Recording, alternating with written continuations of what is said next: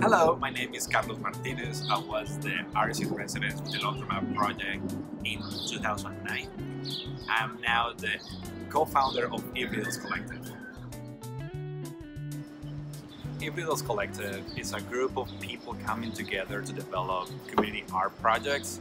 Uh, we as an artist, we community members, neighbors, planners, artists in an effort to address different issues in our own community from uh, the idea of involving people in public space, the idea of like of creating a platform for artists, and thinking about the different issues that uh, are currently happening in our own community.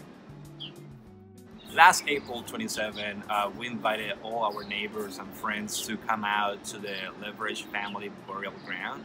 This is one of the projects that the Hibridos Collective has been collaborating with neighbors with the idea of reclaiming an abandoned cemetery uh, and the idea of uh, using the space as, as a way to uh, build community and uh, through the, the idea of making a, a community garden in the space.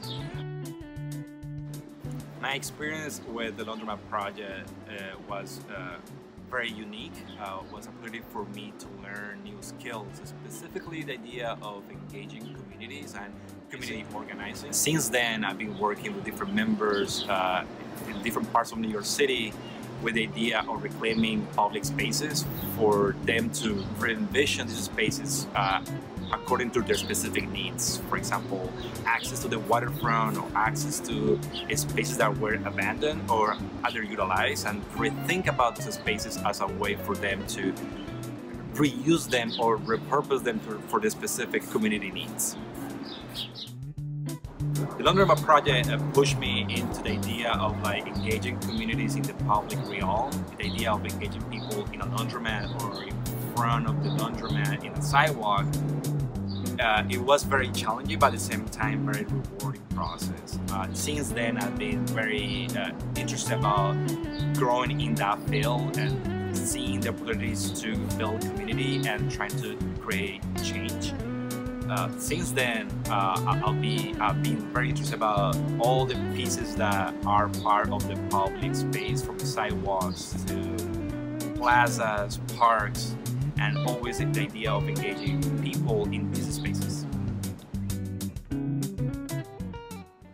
One advice that I would give to myself 10 years ago as an artist in residence with the Laundromat Project would be like not to fear. Uh, be a very challenging process of engaging people in in the street and inviting them to your own project but everything's gonna be all right